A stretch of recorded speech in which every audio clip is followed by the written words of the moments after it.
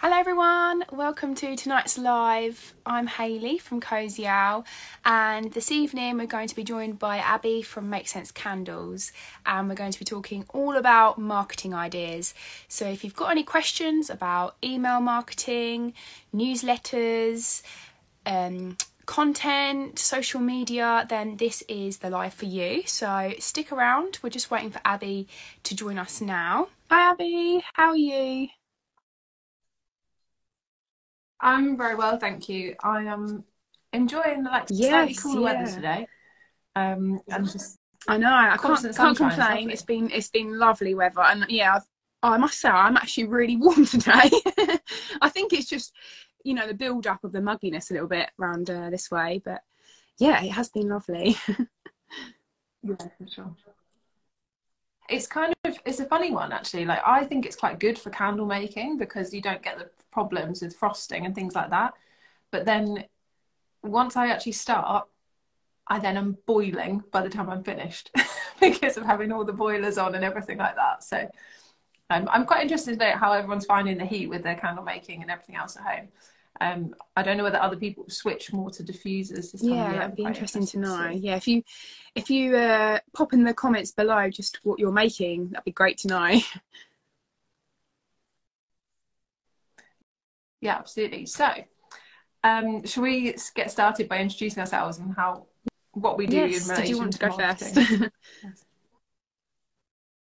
Yeah, go on then. Um, so my name's Abbey. I, if you haven't seen any of our lives before, we tend to do these once a month, um, and we basically chat about all sorts of things, different topics. So you can go back and look on the Owl profile to see what we've talked about before. Um, quite often, um, Owl challenge me to come up with new ideas and try different products out and things like that for the first time. Um, I've been making candles through my little business called Makes Scents Candles for a couple of years now and um, I, so I'm not too far ahead in the game. But on the marketing side of things, I'm a digital marketing manager by day. So that's where kind of my expertise. I'm not going to say I know everything at all because I digital marketing changes all the time, as I'm sure Hayley can testify in terms of social media changes and things like that.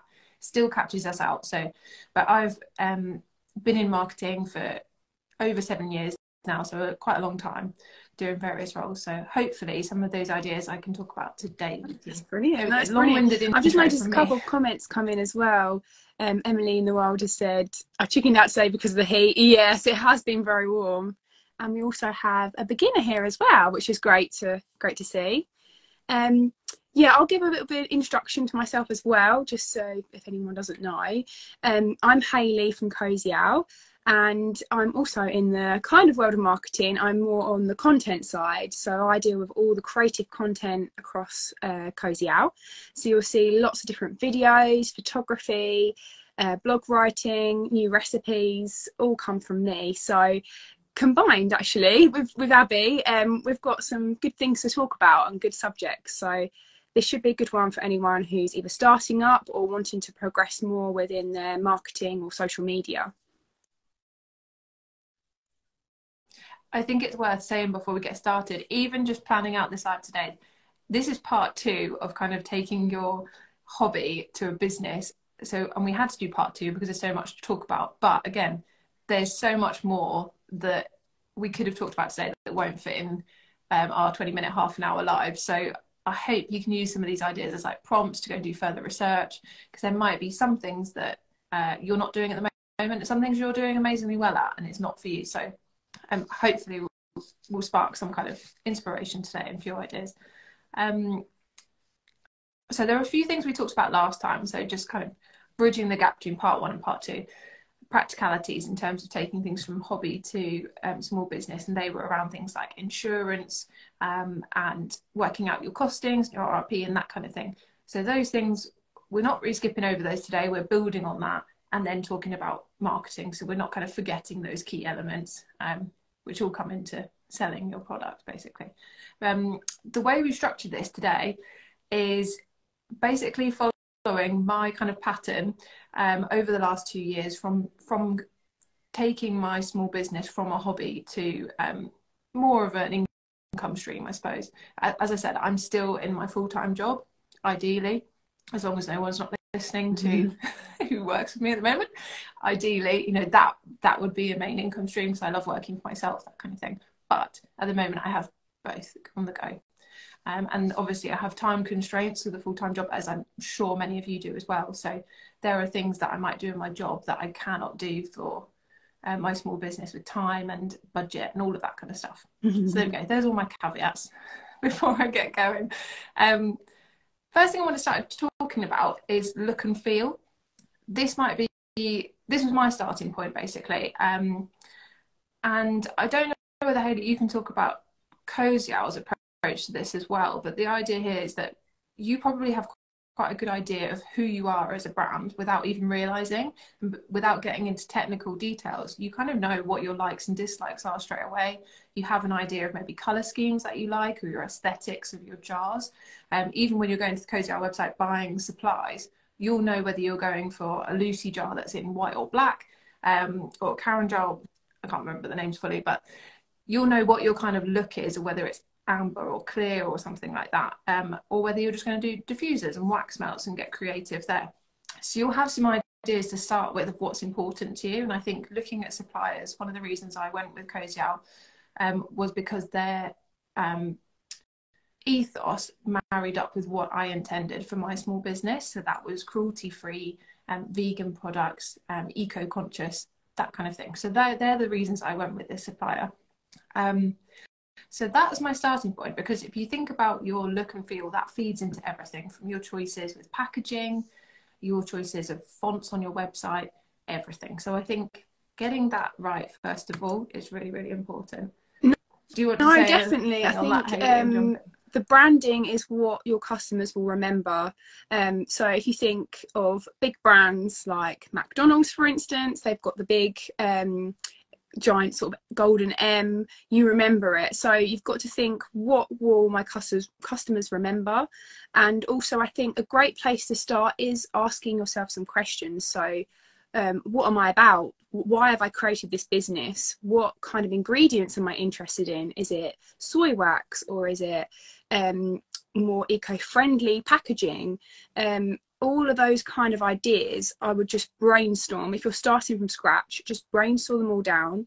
Um, and really go with, like you say, colour schemes, logos, and it can all be very basic. You don't have to invest lots of money into this type of thing. I think you can really sort of build upon your ideas. But a great place to start is almost like an about page. What, what are you about? Why have you created it? Um, and actually something that might be quite helpful to everyone that's watching um, we have our own little like cosy owl um, features page where we feature some of our customers on our blog. Um, and we do like a little interview just to get to know you and um, what your business is about. And those questions actually on that page might be quite helpful to ask yourself. And then you could write up your own answers to them. And then you can kind of build your brand around that um, if you've already built your brand and you don't quite have all of that yet, you can sort of add that in there and develop it as you go. Because as we all know, starting up a business, you, you just develop over time. And as you get bigger or introduce new products, um, branding does change. And I think the look and the feel can evolve with what you're thinking and how, how you want to go.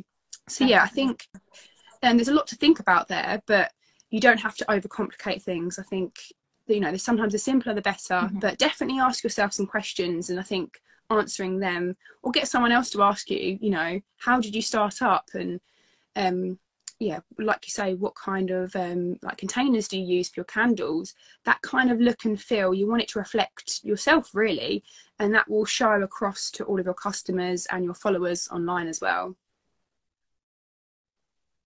If you're trying to sort of fit a mold of what you think your customers might like, um, it tends not to work. It tends not to come across um, because it's a little bit awkward to kind of shoehorn into that kind of style.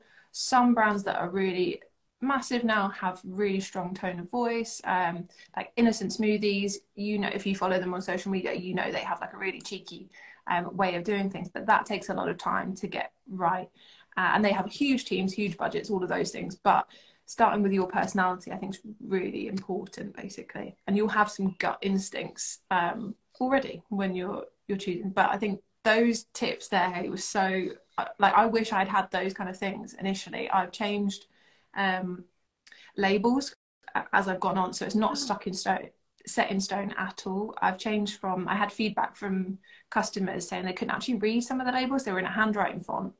Um, more um, elderly customers couldn't really read it. I was so used to seeing it on Instagram all the time and that kind of modern style, but I didn't really think about it being legible. Um, so that's something I've moved away from, but that's something that you'll learn along the way. So I wouldn't that's get too hung up. on a really good exactly piece of advice, like customer feedback. Um, ask your customers things. Um, that's a really really good piece of, of information really to take from that as well, because then as you like you say, you can evolve from that nothing is like you have to be a certain way but when you get feedback like that you can change it as and when. I see a lot of people um, on facebook groups community groups that do get a bit stuck in the research stage. They get very hung up on the testing which is really important but i think the fear takes over of actually launching. Um, so it's worth just having a few trusted people that you can sit down test different things out. Um, keep in mind that anything scented it's quite difficult to sell online, um, but it's also very down, much down to personal perception. Everyone can have a different sense of smell. Um, so those sorts of things you want to take with a pinch of salt and, and keep asking people what they think and try things in different spaces as well. So it's kind of, I guess, tie in your audience feedback with your um, testing process really. And as you go along, it will just grow and grow. Right, websites. So we're talking about customers.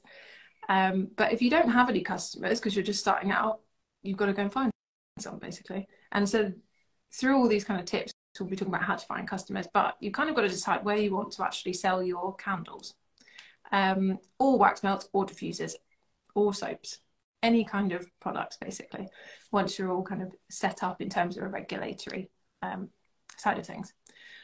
So there are a few options. You could go down the route of craft markets, um, going into retail spaces in your local area if that's something that's quite important to your brand like your the fact that you're local you might want to go into farm shops or spas and, and beauty therapy places um, and see if they'll stock your items on a trial basis. Um, or you could look at online or both. So there are a few different sites like etsy um, and not on the high street. And a lot of people say about the fees with these sites. Um, you could also have your own website as well um, the thing that I've found out lately, and I would say use it as a prompt and then go and do your own research as well, is that when you're actually tracking your income and expenditure, um, which you would do after you started selling and making a profit, you can actually claim back the fees that these sites charge um, as an expense. So that's something to look into. That I'm starting to shift into becoming VAT registered. So I'm going to the next level now. That might be something that's only available for that point. But I would have a research into that because I know that comes up a lot with people saying, oh, but they charge transaction fees and I don't want to put on my prices to counteract that and put customers off, that kind of thing. So have a look at that as a tip. That's something I've only come across very recently and wish I knew.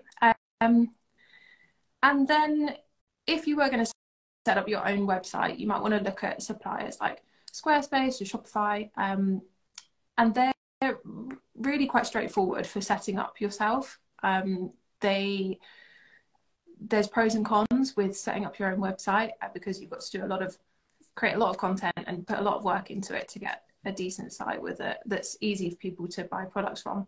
And something like Etsy is where I started because um, the steps were very straightforward to follow, and then it had an instant um, audience base already where you can follow a few steps and you will be found during the search terms um, for your different products. So that's the way I went until I actually started selling and hit a certain number of sales on Etsy. Um, that's where I got to before basically investing in my own website, which was a monthly cost and a few other steps involved in that one. Um,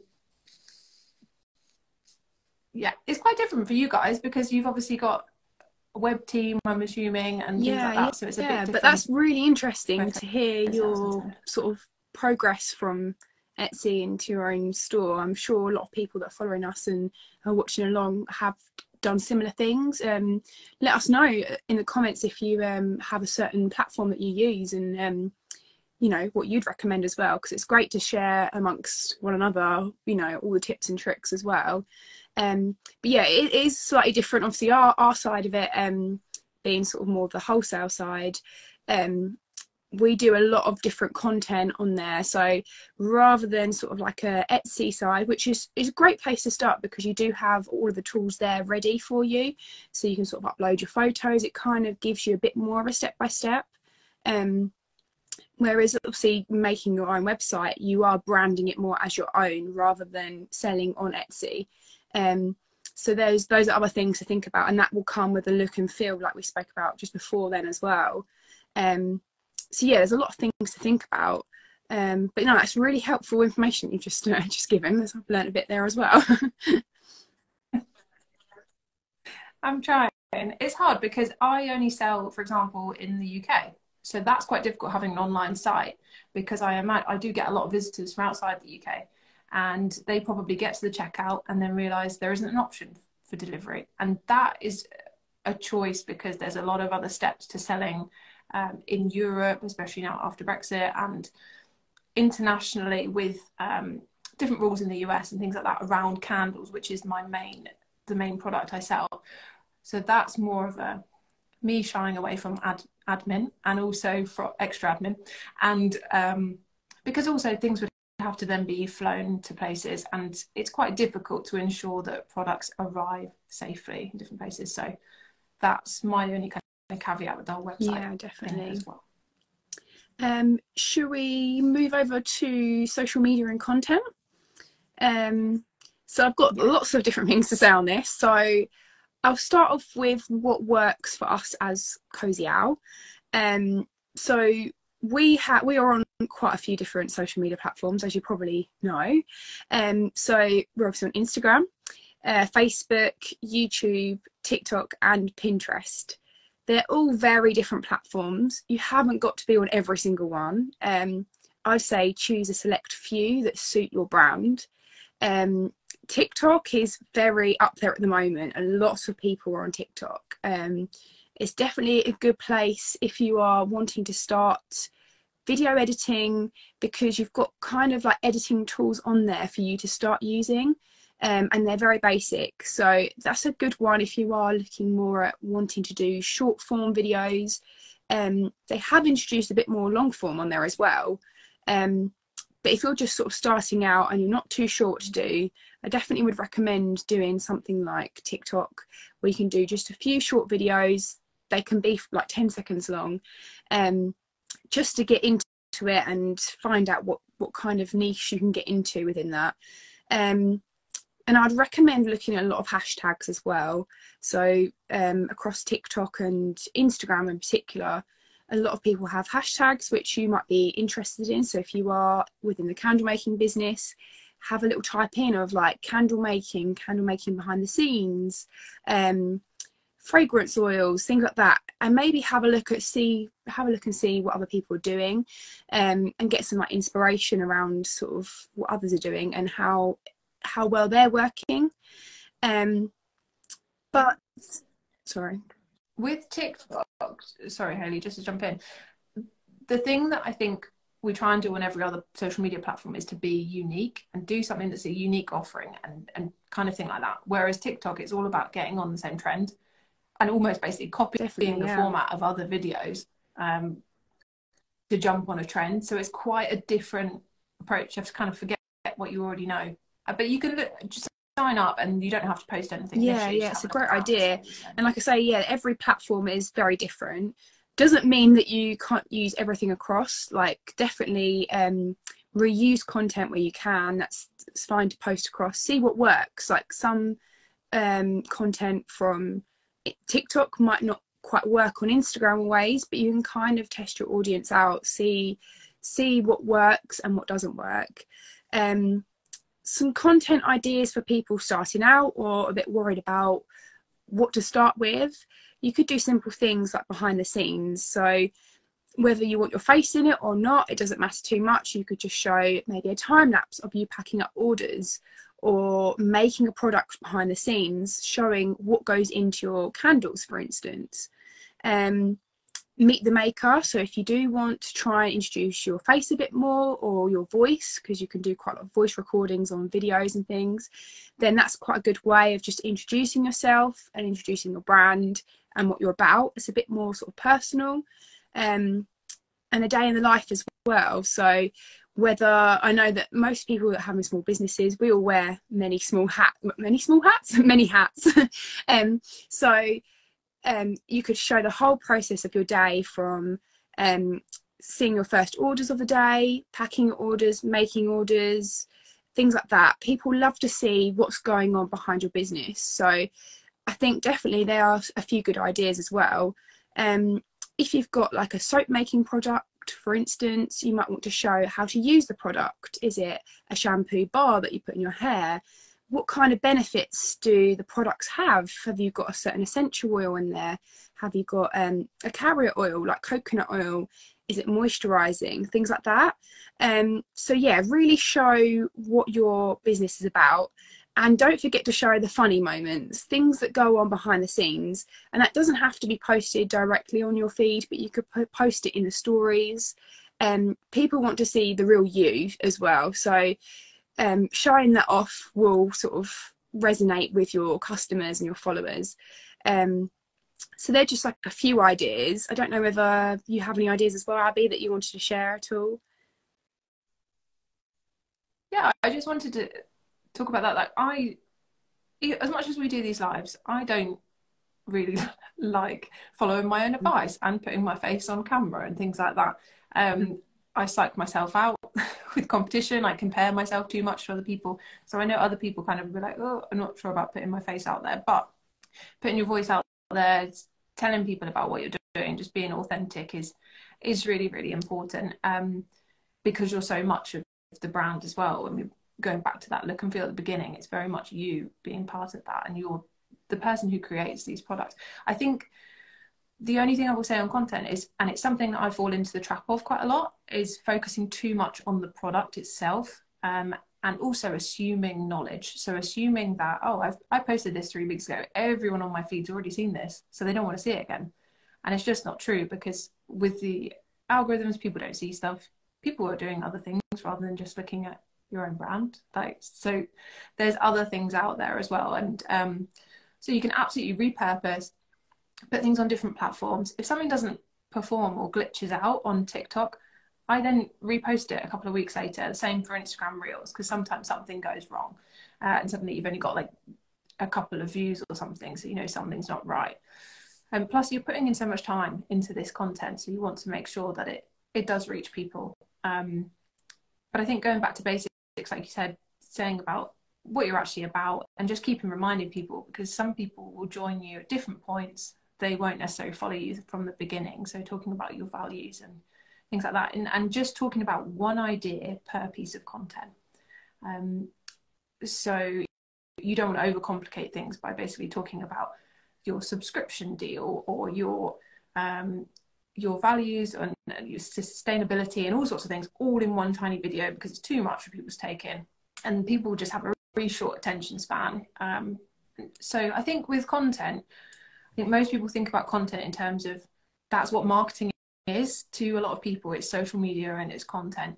Um, I've completely gone blank now. Talking of showing other things going wrong.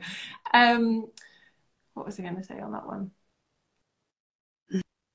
I have no idea now. Don't worry, it wasn't obviously that important. I'll come back to it if I remember it. so it's all good. Um, collaborations and partnerships. This is basically what we're doing right now in a nutshell. Um, Cosy Owl, way back when, did a feature looking for small businesses to, to do content with them, basically. Um, now you guys are doing small business features um, on blog posts, as you were saying, Hayley. So those are really important, like ways that you can benefit from using getting featured on someone else's website which if you have your own website is really beneficial uh, and builds sort of trust in terms of google's perception of your website um, it also helps you build on other people's audiences as well so cosy owl has many more followers than i do so it's a chance to reach more people um, who won't necessarily, in all this kind of stuff, um, purchase a product. But what we're doing is we're getting the brand out. We're adding value by giving people tips today um, on how to start their own company, and then that kind of messaging creeps through. Um, but it can be really beneficial, and these these collaborations could even be the markets that you sell at, the small shops that you sell at as well. Um, lots of people have their own business Instagrams and social media, so you can kind of benefit in two-way street. You guys do a lot of stuff with different um, like YouTubers, different kind of content creators for different voices. So how does that work for you guys? Definitely, I think um, working with other people, I think you bounce a lot of ideas off one one another. Um, it's also great to just partner with one another, network, gain some contacts. Um, you could do giveaways with one another as well. Um, and yeah, you can send out products to test to different influencers and things like that as well. But sometimes you've got to bear in mind that some people will charge for different things if they're content creators themselves because that is their job. Um, but we collaborate like yourself, um, and as you say, it adds more value. And also, I gain a lot of ideas from myself as well talking to you.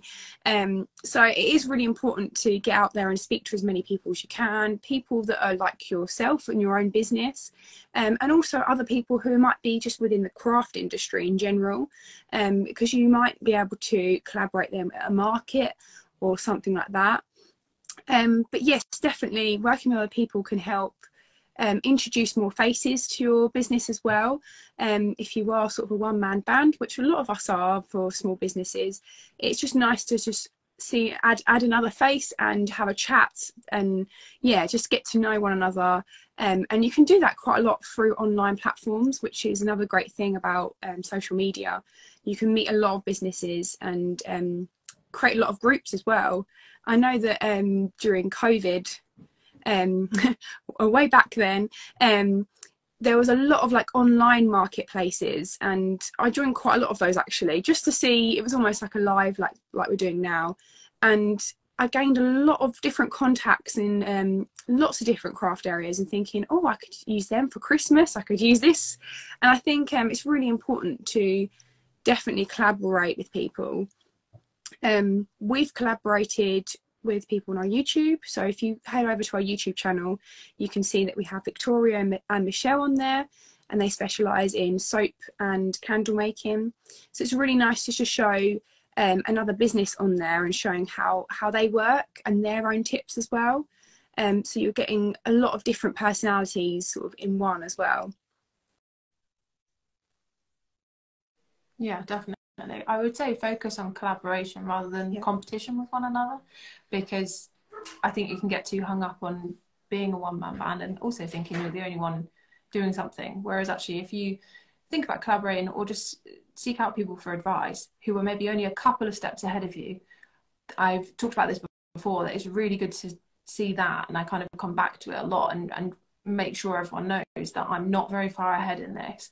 Um, I do still make mistakes because I'm looking at the people who are Forbes 30 under 30 who started the same time as me, and I get myself psyched out and think, hmm, how did that happen to them and not me? And you know, and I go down in a spiral, and then I forget actually I need to yeah. concentrate on my own stuff and work on my content rather than worry about competition things like that. That that doesn't really exist because there is space for for lots of people out there. Um, Okay, two things. Checking on time. We are a little bit tight on time. I, knew we would be today, partly because I talk. So and I. I just find all this stuff really interesting. Anyway. and I love chatting to you guys for lots of ideas as well because I'm trying to scribble notes.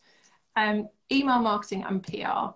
So, because people tend to think about social media as the marketing thing, they forget that other things exist like website, like writing blogs, um, which can answer various questions and bring people into your site that way, um, like you were saying earlier, Hayley as well. Um, but email marketing, like creating um, a list, you don't have to do, don't have to just do like say a giveaway on social media with the aim of say getting more followers or getting more engagement on your post. You could um, incentivize is the wrong word because of GDPR permissions, but encourage people to um, sign up to your mailing list or just do that in your general content. And if you create a list of um, people that you can send emails to via MailChimp or other platforms, um, you can basically start to build up another pool of people who are going to see um, behave slightly differently and interact slightly differently with your content. So you can tell them things that are a bit more long long form. You can send people to your website via your emails. Um, and I would say just the way to get started with that. Obviously, you can put links on your social media or whatever kind of platforms are working for you at the moment to get people to sign up. Have pop-ups on your website to encourage people. Perhaps they could get 10% off their first order by filling in their email address for you. Um, but you just need that in a platform that's nice and secure because you need to have permission. So I'm not going to explain GDPR right now, but you basically don't want to be contacted by people that have just randomly added your email to their list. So you, I think with all of this stuff, and I think this is the thing I'd forgotten about earlier, put yourself in the customer's shoes, what you like on social media, uh, what you like in terms of emails. Um, it's probably going to be quite similar to other customers. So don't get too like distant from who your customer customer is. Um, so something that I've set up recently with email marketing is some automations because the platforms help me do a step by step on that. So it's really straightforward. And I make sure I have a welcome email. I then have a few days later an about us email. And then um, I would follow up with some other kind of promotion. And then when it comes to someone's birthday, because they filled that in when they signed up, they'd get a little treat. So it's something that's a little bit personal. Um, but you can sort of develop that as a whole thing, do some research into email marketing. But it's kind of something that's forgotten, but I think is really beneficial. But you guys have a lot of your content that also, uh, like recipes and things like that, that come across slightly different things into your email marketing. Do you find it like is really definitely beneficial I think to have? Both? You've got to think about um, like we said before, adding value compared to sales as well. So you want to incorporate both into what you're doing.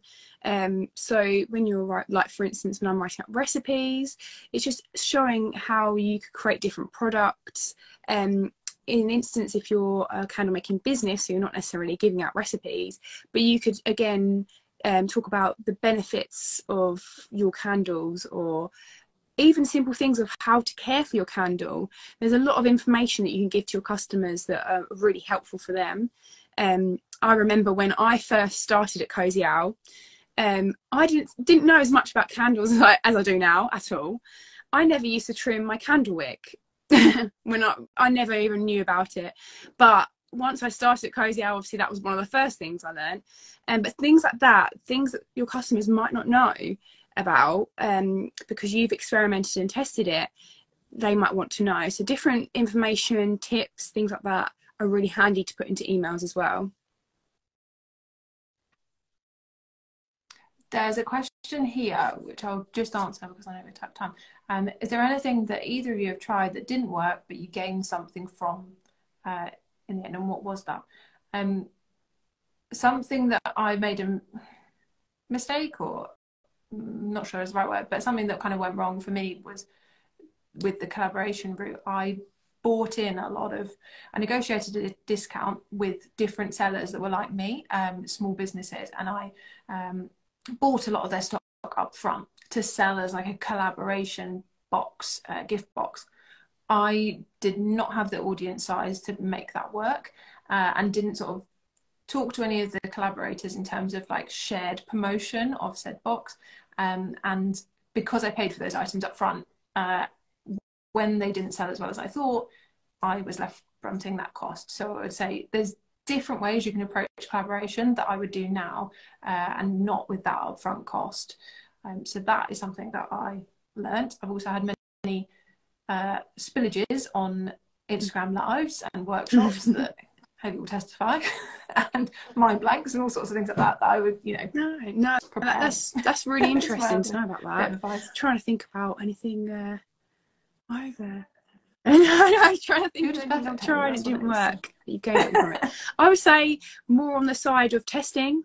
Um, yeah, testing out different things. I've tried lots of different ways um, just to see what what works and what doesn't work. But gaining from that, I've learned a lot about you know things for instance when we were putting um, candles into fridges to see how cold they could get and see how it affects them you kind of get to know what temperatures you need for wax for instance so pushing the ingredients to another level to see what it does so i think yeah that's something that's that i've tried hasn't always worked but i've always made notes down. So i note down everything that doesn't work. That's just as valuable as things that do work. If you write that down you will learn a lot from it. Mm. and then yeah then you gain a better product out of it because you know what doesn't work. Um that would be my main thing i think. Yeah, that's really good advice. was a really good question. well, really made me think. Yeah. Yeah, exactly. Okay, the last thing I will talk about is PR. And it's more kind of just because, as I said at the beginning of the slide, if anyone's still with us from the beginning or rewatching this back, these are things I've approached in chronological order. So now I'm starting to think about PR. And the reason for this is because I have returning customers. So I know that my products sit well with individual customers. Um, people come back to me again. Um, but the thing that I can't do as, as quickly and as well is reach new customers. Um, algorithms on social media don't help me with that.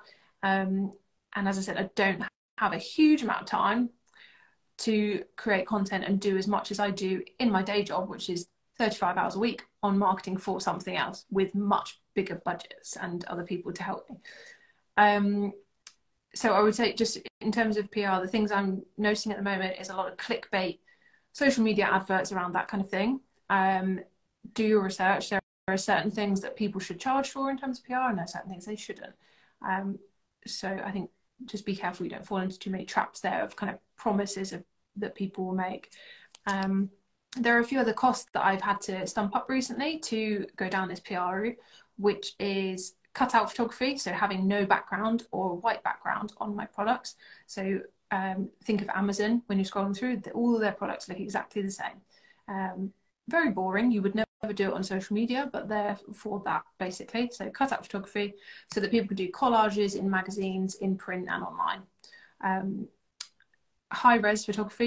So this is where I've had to go to a professional photographer because my phone won't cut it. Um, and Hayley, I know you use like high tech cameras for your photography. So Definitely, that's um, that you do. definitely for PR side of it. For general social media and other things, phone is perfectly fine. Just just get started. Don't worry about that about it too much. But but yeah, for PR, definitely high res imagery is what they'll ask for straight away. Yeah. Um, and I think just as you're growing generally, something I've learned lately is that um, some things I'm not quite ready for yet, and some things you've got to think about to be ready for it. So if you were thinking of moving from selling in markets, you have you maybe give something away in a paper bag, and then online you've got to make sure it goes through the post, and you wouldn't have a paper bag. So there's things like that that keep coming up for me uh, in the kind of development of my brand and the marketing side of things that I have to keep thinking about. So yes, it's more of a a note, like a PS note That's about lovely. PR there. But yeah, I think Loads. covered Yeah, we've covered loads. if anyone has any more questions, just feel free to pop them at the end of this live, and we'll get back to you as soon as we can. But yeah, we could probably talk about this for hours on end. Yes, we definitely could. Um, but I hope someone, you know, any of you listening or rewatching this back, that you've got some kind of ideas to get started and yeah, a few basics. So just start with look and feel and what you're about first of all. I think everything else will come from that, and you can do your individual research into different areas. But we can't teach you how to be a marketer in half an hour because that's people's whole jobs, you know. But you can get advice from different people.